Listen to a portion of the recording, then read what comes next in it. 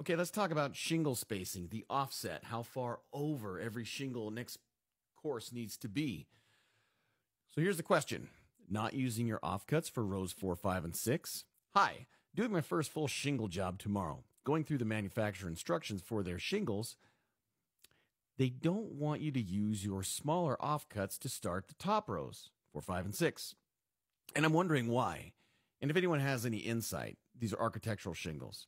Instead of a full stair strip using all of the offcuts, like every other shingle I've seen, they only want three of the largest cuts, then starting with a fresh full shingle. Seems like a lot of waste. Manufacturer recommend top, full 39 3 eighths, then cut off 17, 11, 6, etc. Opposed to what I was planning, a full. Yeah. Anyways, anyone know why anyone know the reasoning why? I presume the thought is that the larger shingles may provide a better adhesion. Anyone done the full step and had any issues? What about warranty? Anyone denied a warranty because they didn't do the correct pattern? Thanks, gents. Okay. You didn't say what manufacturer you're using, but it's okay. I know. It's GAF. And what is the deal? Well, let's talk about what the deal is. Okay, so here's what the manufacturer is saying full shingle down on top of the starter then cut six inches off of the second shingle. Then for your third course, you cut 11 inches off.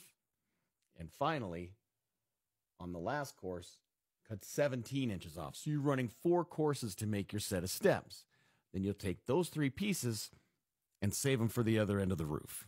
You will put a full shingle on again, as you can see right up here, to start this four shingle step pattern. Now, through all of that, GAF doesn't take a minute in their in their new installation instructions to explain why.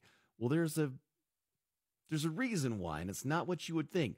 You know, the the uh, the person wanted to ask is is it for adhesion so that maybe they they seal better and give you better wind resistance? No. Is it for better water flow and shedding of the water? No. What does GAF say?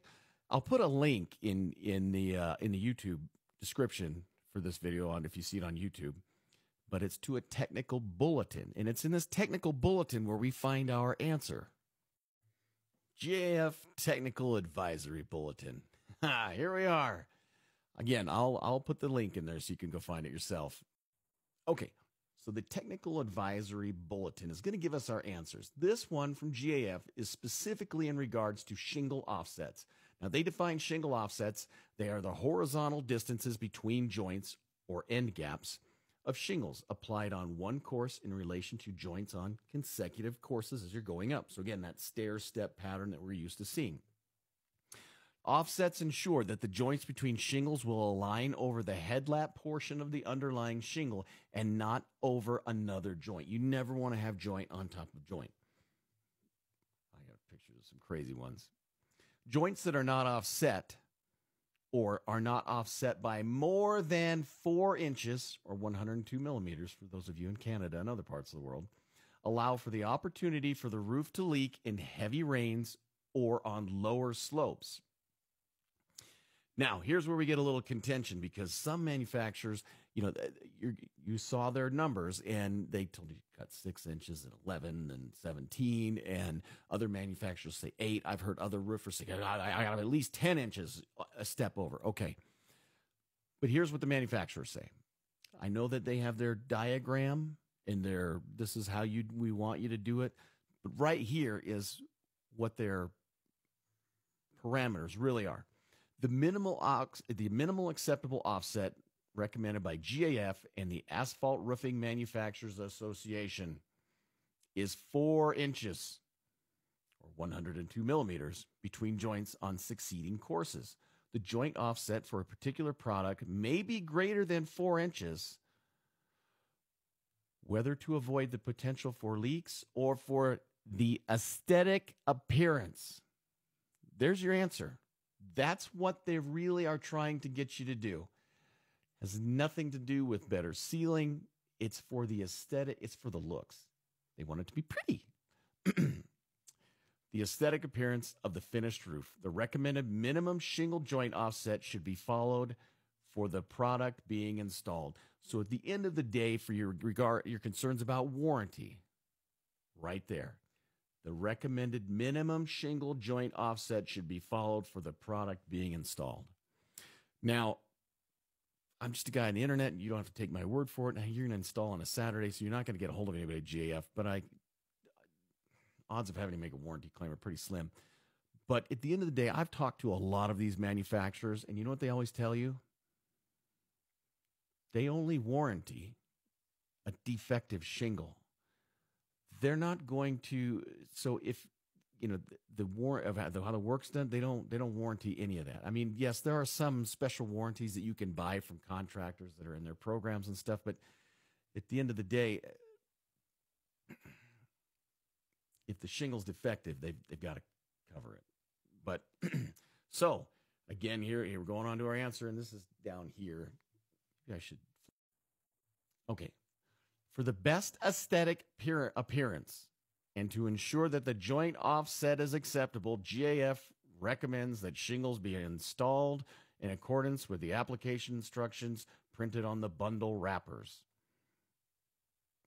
There are a few other things to understand about shingle offsets. Offsets are a measured distance between joints on succeeding courses and are not measured from any specific reference point on the roof, such as an edge or a valley.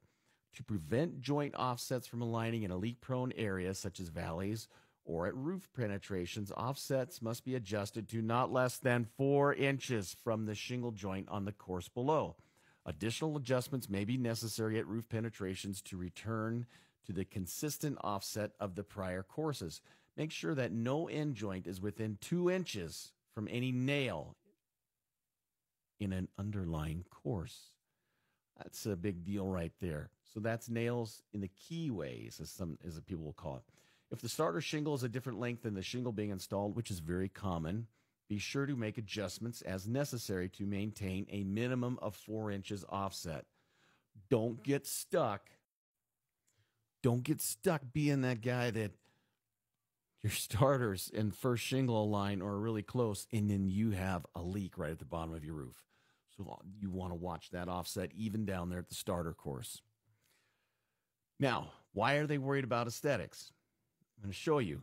This happened in Phoenix, Arizona. This is a different brand of shingles. This was IKOs.